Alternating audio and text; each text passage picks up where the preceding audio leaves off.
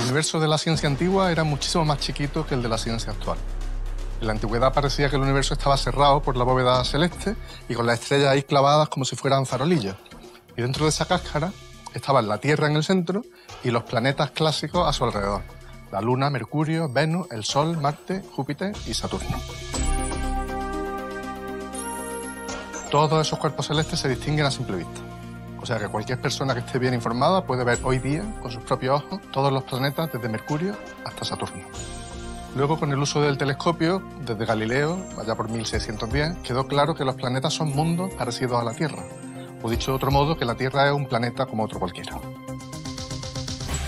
Cuando se estudió en detalle la distribución de las órbitas planetarias, colocando ya no la Tierra sino el Sol en el centro, se vio que la separación entre órbitas no parece aleatoria.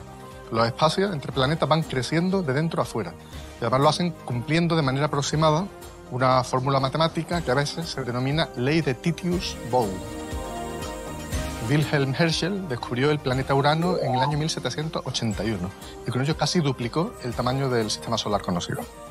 Pero uno de los aspectos más llamativos de este hallazgo fue que la distancia de Urano al Sol encajaba perfectamente con la ley de Titius-Bode.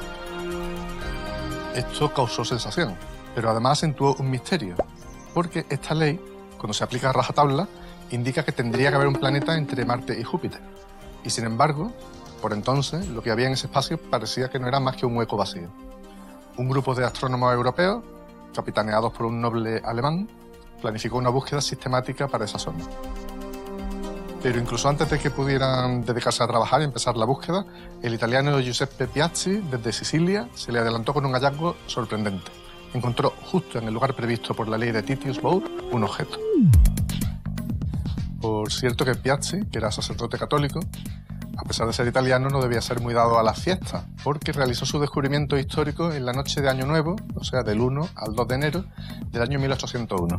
De hecho, es la primera noche del siglo XIX. Mientras probablemente la mayoría de la gente a su alrededor estaría descansando después de los excesos de la noche vieja anterior, él estaba trabajando y produciendo un descubrimiento histórico para la humanidad. Aquel objeto estaba donde debería haber un planeta y seguía una órbita como la de los planetas, pero tenía aspecto de estrella, o sea que se veía como un puntito. Por eso más que un planeta se habla de un planeta menor o de un asteroide, palabra que etimológicamente significa con aspecto de estrella.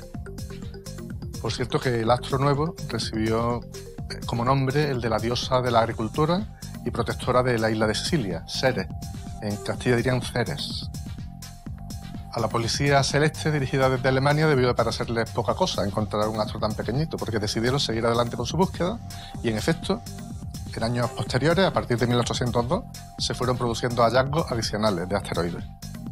Hoy día se sabe que entre Marte y Júpiter no hay un planeta, sino todo un cinturón de asteroides con cientos de miles de cuerpos de todos los tamaños, desde los mil kilómetros de diámetro de Ceres, que es el mayor, hasta los pocos metros o incluso menos.